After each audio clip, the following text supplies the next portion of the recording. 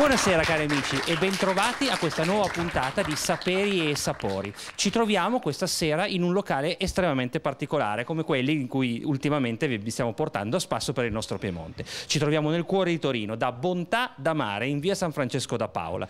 Quindi un ristorante di pesce, squisitamente un ristorante di pesce molto molto caratteristico nel cuore della città. Perché questo? Perché noi oggi vi racconteremo come vivere la città durante l'estate. Siamo giunti al termine della nostra prima stagione di Sapere e Sapori e vogliamo raccontarvi come si può vivere alla grande, molto bene, anche l'estate nella nostra Torino come nelle altre città del nostro Piemonte. Innanzitutto saluto e ringrazio la nostra Elisabetta Danieli. Ciao Max, saluto tutti i telespettatori che ci guardano da casa e li ringrazio perché oggi sono qui con noi. E saluto e ringrazio Loredana Chiforeanu. Ciao Max e saluto tutti gli amici a casa. Benissimo, cominciamo la nostra camminata da Bontà da Mare e dalla città di Torino. Diamo ora la linea al nostro Mauro che ci racconterà cosa vuol dire vivere l'estate in città. Grazie Massimiliano. Allora, eh, carissimi telespettatori e telespettatrici, convenite con me che il fascino delle città d'estate è tutto particolare. In certi casi bisognerebbe proteggere le nostre città come si fa col panda del WWF.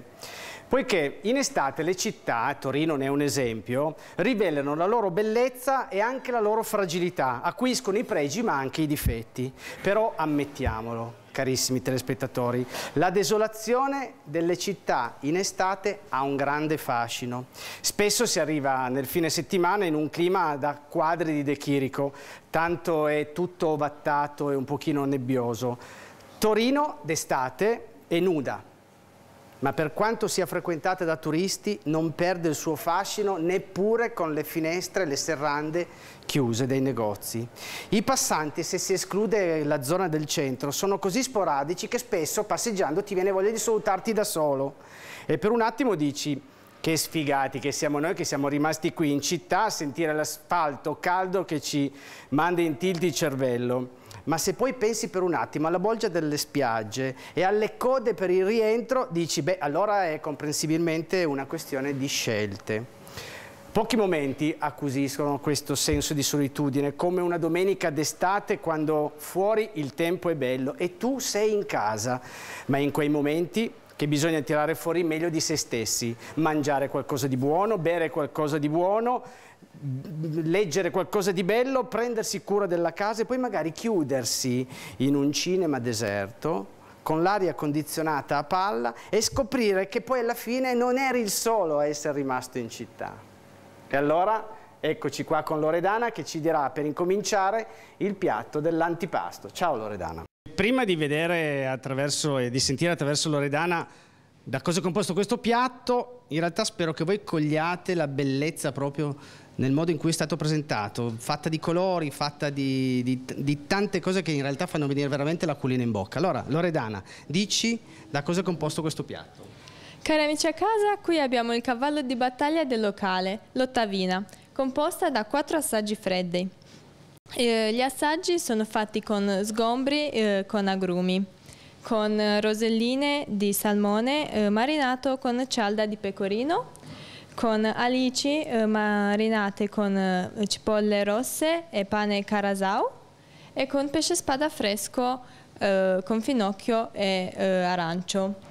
Inoltre questo piatto cambia ogni sera in base al tipo di pesce che viene pescato ogni giorno. Grazie Loredana, diamo ora la linea a Massimiliano che ci racconterà parlando col titolare di questo locale di questa sera. Grazie, a presto. Bene, cari amici, siamo ora con Renzo Paolone, uno degli ideatori di eh, Bontà da Mare qui da via San Francesco da Paola a Torino. Eh, a Renzo facciamo la domanda che facciamo sempre a tutti gli ospiti e gli amici di Sapere e Sapori. Qual è il tuo piatto preferito? Beh, innanzitutto buonasera a tutti.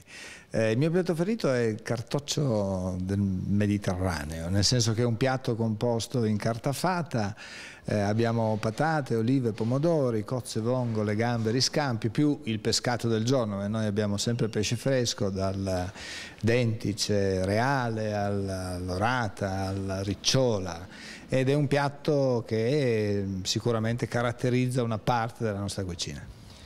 Beh, eh, cominciamo direi assolutamente molto bene perché la descrizione già ci fa venire l'acquolina in bocca. Eh, Renzo, qual è la filosofia con cui avete ideato e avete realizzato Bontà da Mare qui in via San Francesco a Torino? Bah, eh, è una filosofia che, o meglio, abbiamo degli obiettivi abbastanza presuntuosi, nel senso che vorremmo eh, essere, diventare un punto di riferimento nel mercato della ristorazione del pesce a Torino? Mm? con sicuramente degli chef di eccellenza, un'eccellenza della materia prima utilizzata, eh, ma soprattutto un'intenzione di aprire la nostra cucina a tutti i nostri clienti. Infatti associeremo sicuramente e stiamo associando la, la nostra proposta di ristorazione classica a ehm, attività di scuola di cucina, a attività di asporto eh, semplice e anche di qualità, eh, quindi riproponendo il menù serale. Eh, ci, ci piace l'idea di aprire questo ristorante a tutta la clientela possibile, ripeto, puntando molto sulla qualità e sull'erogeneità dei nostri piatti. La qualità è uno dei fattori più importanti in quello che è la cucina, soprattutto poi ancora con il pesce. Eh, il, il vostro pescato da dove proviene? Beh, il nostro pescato è quasi interamente nostro, nel senso che non utilizziamo pesci, se riusciamo, che vanno fuori dal nostro mare Mediterraneo. Ci sono delle ottime scelte, dal tonno allo spada, che sono i pesci classici di offerta per, per offrire nostre, da offrire alla nostra clientela, e però poi, ripeto, andiamo su tutta l'offerta possibile eh, anche la paranza stessa che è un piatto classico, no? noi non la facciamo con i calamari e gamberi, la facciamo con i nostri col pesce, con la boga, con eh, la triglietta, con il nasellino e sono tutti pescati del nostro mare. E quali invece sono le richieste principali della clientela?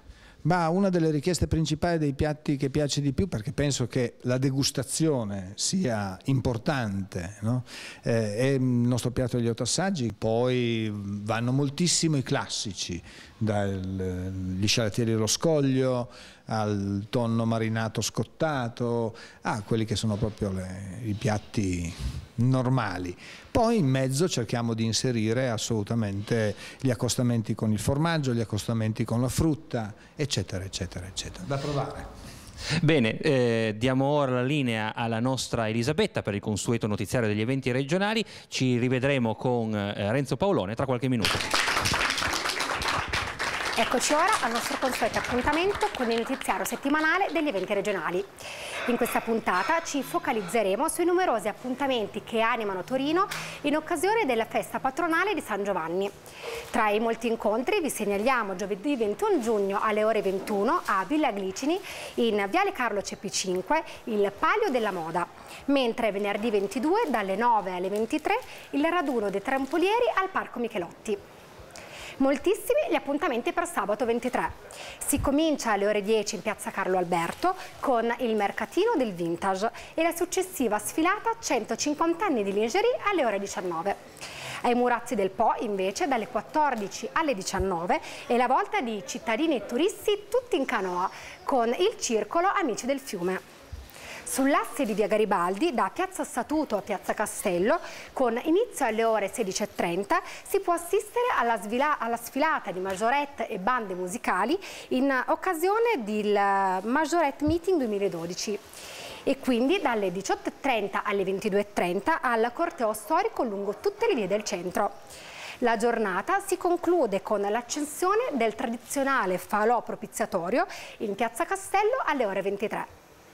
Domenica 24 giugno si apre con la Santa Messa solenne in Duomo alle ore 10.15 per proseguire poi con numerosi altri eventi come la sfilata di autostoriche in centro, la regata di cannottaggio sul Po dalle 15 alle 19 e la successiva fiaccolata sul fiume dalle 22.15 alle 22.45. La festa patronale di Torino si conclude quindi la domenica sera con il tradizionale spettacolo pirotecnico sul ponte Vittorio Emanuele e sul Po, previsto per le ore 22.30.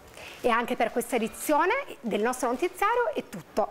Continuate a seguirci anche durante l'estate su internet con i nostri aggiornamenti sugli eventi, le mostre e gli incontri che animano il Piemonte, digitando www.piemontepaese.it. Per ogni segnalazione scriveteci infine all'indirizzo redazione chiocciola piemontepaese.it.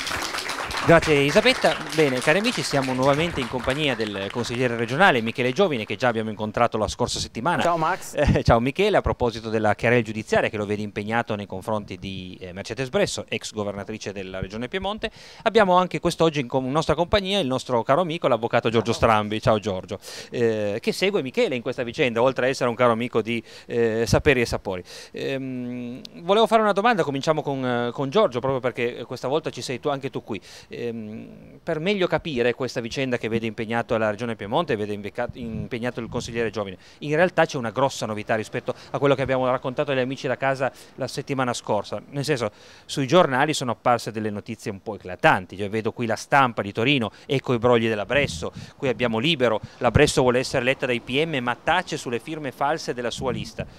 Che cosa è successo questa settimana, Giorgio? Guarda, è successa una cosa incredibile, Max dopo quasi due anni che abbiamo passato a difenderci dalla, dal ricorso promosso dalla eh, Mercedes Press e dalla sua alleata, scopriamo che proprio l'alleata della Brescia hanno commesso quello che, di cui accuserebbero Michele, cioè il falso non è di Michele che è innocente, ma il falso proviene, il falso elettorale per le competizioni del 2010, proprio dalla, dalla lista della, collegata con la Mercedes Presso e in questi giorni abbiamo scoperto, abbiamo avuto accesso in questi giorni agli atti della Procura nella loro interezza che insomma si tratta di un falso che riguarda tutto, l'accettazione di candidatura, eh, il meccanismo di, di, esenzione, le firme dei candidati, un, un falso a 360 gradi. Quindi Michele, questa lista non doveva essere presente alle elezioni regionali del 2010? Assolutamente non doveva essere presente. Aggiungo un pezzo, è la lista che ha fatto la denuncia, cioè non è una lista semplice che appoggiava Brescia, è proprio la lista che ha fatto partire tutto il tourbillon. Eh, mi permetto, eh, Max, di fare un veloce ringraziamento a due persone che io l'altra volta non ho ringraziato, che sono l'avvocato Luca Procacci che ha seguito qui la regione su Torino ed è stato straordinario, ma soprattutto l'avvocato professor Angelo Carizza che ci ha seguito a Roma, che ha seguito la regione a Roma ed è stato, l'ho definito io un gladiatore con i colleghi, persona squisita e intelligentissima. Sì, una lista che non doveva esistere, una ecco. lista farlocca, una lista che non poteva correre e quindi di fatto ha ingannato gli elettori e i cittadini piemontesi perché si sono trovati sulla scheda elettorale una lista che non doveva esserci. Come hanno fatto a presentarsi allora? Hanno usato la legge regionale che c'è perché permette di correre senza raccogliere le firme Peccato che tutte le candidature, tutte le 48 candidature, tutti i collegamenti, l'esenzione stessa è tutta stata autenticata falsamente. In particolare la firma di esenzione che è stata data dal mio collega, il capo dell'Italia dei Valori, Andrea Buquicchio. Eh, come lo sappiamo? Lo sappiamo perché lo dice lui stesso nell'interrogatorio davanti al pubblico ministero, lui stesso dice ma io non sono mai stato in quel posto a firmare per quella lista, non ci sono mai stato, come, come ti ho fatto vedere prima dell'interrogatorio. È una roba incredibile ma è proprio così. Sì, effettivamente la notizia, Giorgio, è abbastanza eclatante. Come mai viene fuori solo adesso? Ma viene fuori solo adesso perché praticamente dopo nove mesi che il fascicolo è stato trasmesso da Mondovì perché un'indagine che parte da Mondovì e poi approda qua a Torino. Insomma, dopo nove mesi che il fascicolo è a Torino, solo adesso ci hanno dato la disponibilità di poter visionare il fascicolo nella, nella sua interezza. Bene, grazie a Michele, grazie a Giorgio, mm, li rivedremo tra pochi istanti mm, per meglio continuare questa nostra chiacchierata. Alcuni istanti siamo tra voi.